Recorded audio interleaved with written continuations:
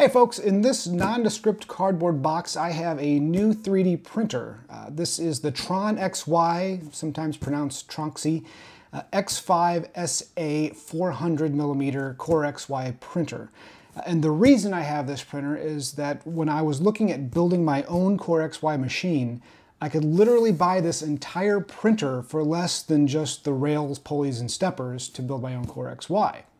So the plan is to build this Tron XY X5SA400 exactly as it commands in the manual, uh, and then upgrade parts later to make it the machine that I want it to be.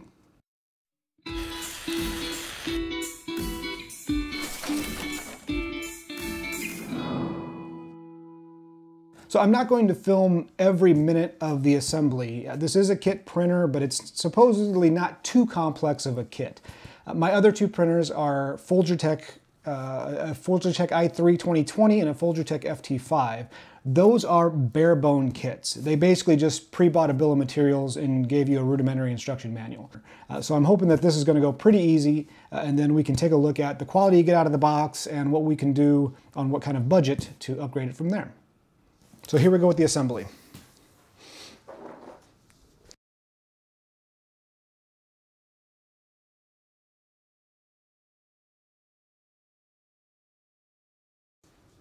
So the, the box comes pretty well packaged. Everything is in uh, styrofoam uh, buffered sections, which is great, uh, and it's laid out pretty well. Again, it's not just a bunch of parts loose in a box, uh, which is maybe a step up over the, the Folgers, uh, but uh, you know, it's, um, it's still a kit, that's for sure.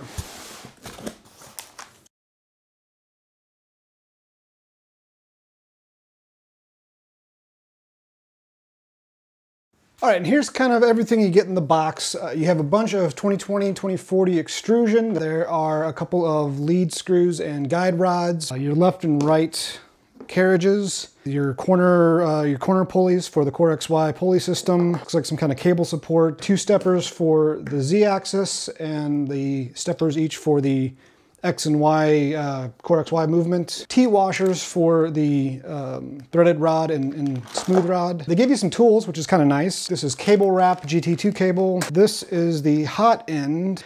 Um, one of the complaints with the non-pro version, this is the non-pro version, is that the, the rail system, I guess the, the movement system in general, uh, uses just these basic um, V-slot bearings, or these V-slot washers, whatever you call them, wheels that, that ride in the V-slot.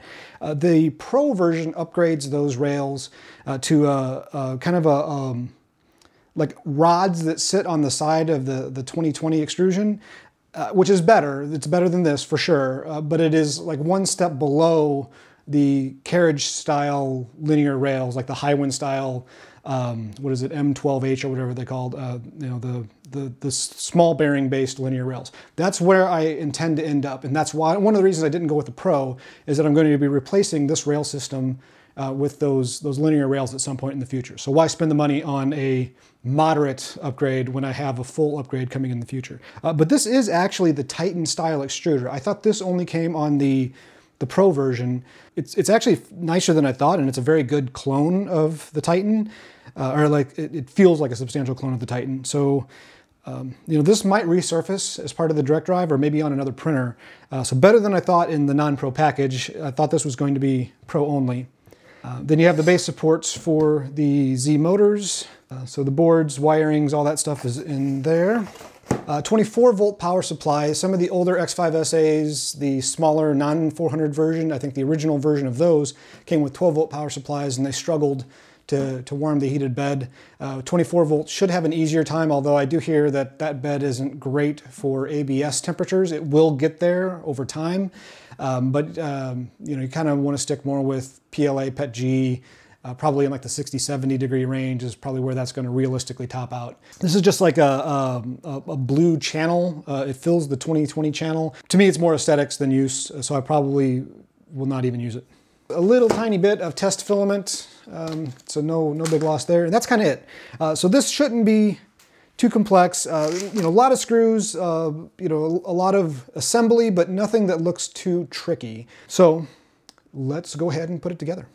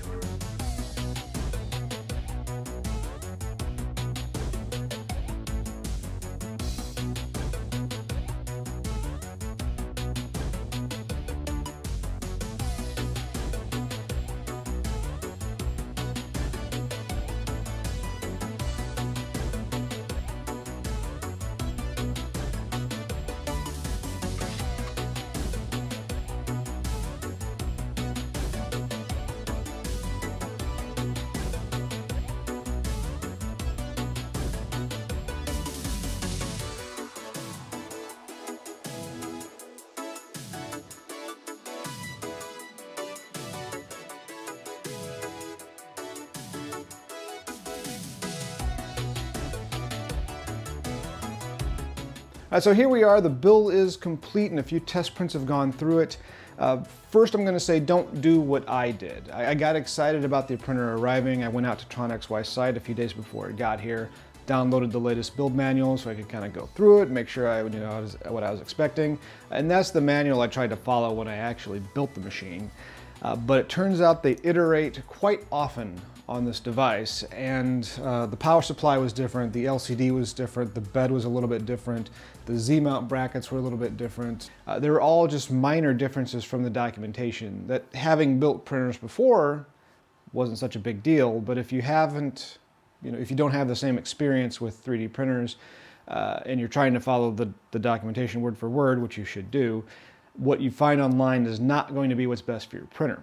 They include an SD card that does have all of the documentation, and that did line up almost exactly with the hardware included with this printer. Uh, the only difference was the filament sensor indicated in the documentation doesn't exactly match what I received, uh, and the filament sensor that I did receive doesn't perfectly line up with the extruder. Uh, so I think that this was a packaging mistake by Tron XY and that the wrong filament sensor was included. So it's an aluminum build plate, a 400 by 400 millimeter by 400 millimeter aluminum build plate. I don't like, I'm not a fan of aluminum build plates to begin with because they, as they heat and cool, aluminum changes dimension and that's what causes warping overall. And that's why you have things like mesh bed leveling. So instead of sticking the big sticker onto the aluminum plate which is going to warp eventually and you're going to want to replace this surface eventually uh, then you're going to have to peel off that you know the surface from the aluminum plate clean off all the glue. It's a big mess so don't bother. I put it on glass and i put the uh, uh, the glass clipped onto the aluminum build plate uh, the problem is the bed leveling sensor included with the printer is an inductive one. Even this very thin glass is a bit too thick for the inductive sensor to pick up reliably. Uh, so I did put a spot of copper tape uh, right where the, the sensor um, the, the Z homing location for the sensor uh, is right there. So I do have a little bit of copper tape so it'll pick that up. Now to give you some idea of the complexity this printer's manual, I believe, was 28 pages long, uh, and I think it was like 13, 14 steps, something like that. Uh, compared to my FT5 manual, I downloaded the latest version of that manual because that one also iterates over time. Uh, I believe it's 92 pages right now.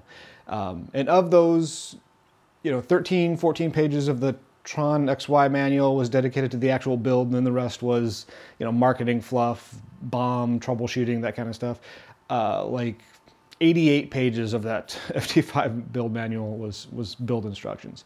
And then if you compare on the other side to something like the Ender 5, which is a bit more mature kit uh, with maybe a bit more QC and a bit more uh, uh, refinement on the instructions, I want to say that there were only like six pages of instructions total. After assembling the frame, I'm finding that the frame it's sturdy in the, like the Z axis. Uh, there is this big 2040 um, uh, 2040 extrusion to keep it from leaning, uh, I guess that'd be the Y, from leaning to and from uh, the Y axis.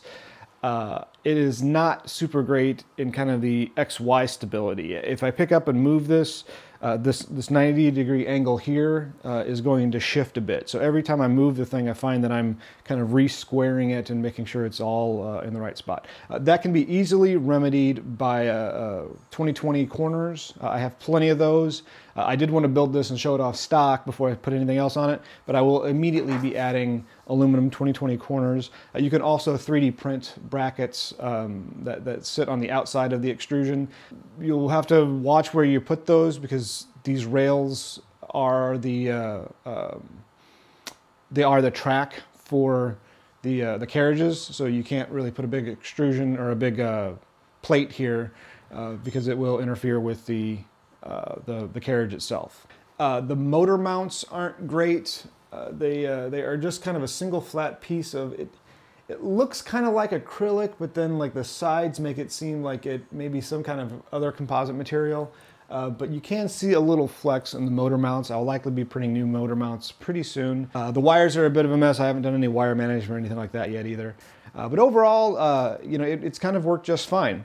I did use base Cura that does now include a Tron XY 400, uh, X5SA 400 profile. They included their own branded version of Cura on the SD card uh, which is not something I have any interest in using whatsoever. Uh, and they did include just a little bit of filament, and I did pop out two test prints, uh, the standard XYZ block uh, that came out as good as you could expect, especially for an untuned uh, printer, uh, and then a Benchy. The detail was fine, some retraction needs to be changed.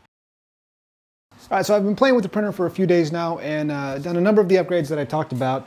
Uh, added a bunch of bracing, so a lot of uh, aluminum corner brackets as well as some, uh, uh some 3D printed plastic brackets where necessary. Uh, added the Octopi with a camera.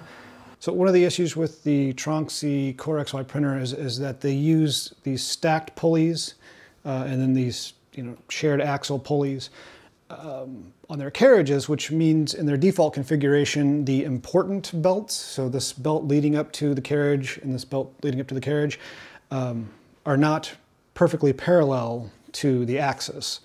Um, and by replacing the motor mount with a much more substantial motor mount that moves the engine out about four and a half millimeters, and replacing the pulley system, or actually washering the pulley system so that it's over about four and a half millimeters means that that is almost perfectly in line on each side. One of the things that I found was this cable chain kind of drooped over time and you'd have to retighten, kind of readjust it and retighten these screws. And even then, the some of the sections at the front of the cable chain uh, would start to slip out a little bit. Uh, so I have this little uh, uh kind of little helping hand to help keep the, uh, the cable chain from drooping down.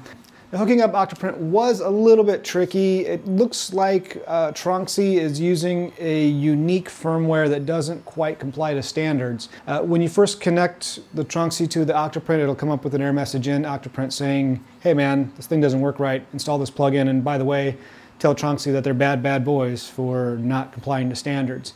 I did run some tests on the heated bed and uh, it wasn't exactly stellar. Uh, now this is comparing it to the silicone heater on my FT5, it's only a 300 millimeter square, uh, but it is only a 12 volt silicone heater uh, instead of the 24 volts aluminum heater that's in the, uh, in the, the Tronxy. At 50 degrees, it took just under two minutes for the silicone heater to come up to temperature, uh, whereas it took about four minutes for the, the, the Tronxy.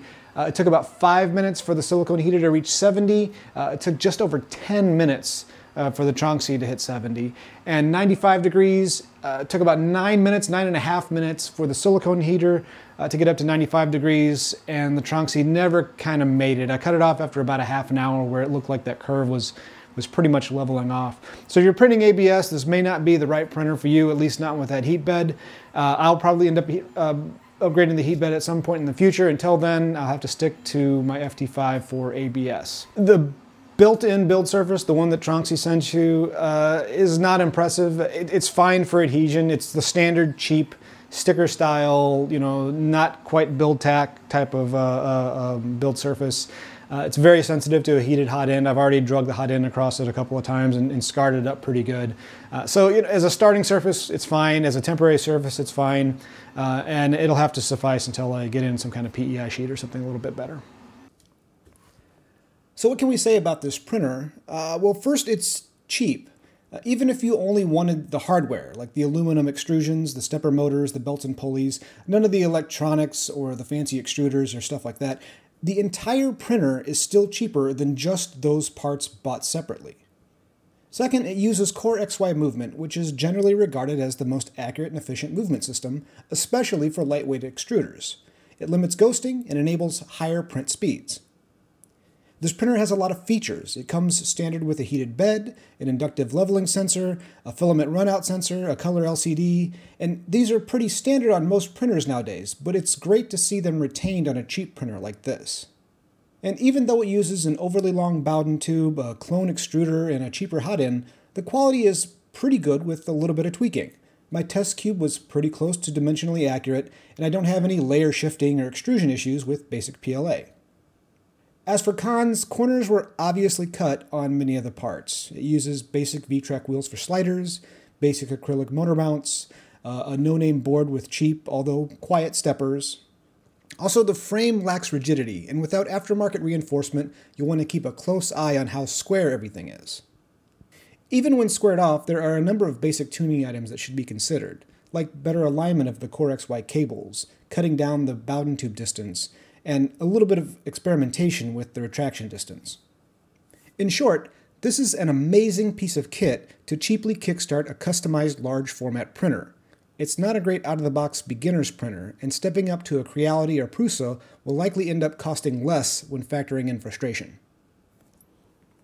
So I think this is where I'm going to end this video. Uh, I do have a lot more upgrades planned. I've kind of done everything that was simple and just, uh, you know, a quick 3D print or, or, a quick adjustment to the printer, and it prints very well as it is right now. My next step, I hope to get the linear rail in pretty soon for the x-axis, and I think from there I can put on a, uh, uh a, a, direct drive with maybe a BMG or an Arrow or something like that, uh, and then I'm going to, to do something about those, those build surfaces. So hopefully that PEI sheet will be coming in before too long.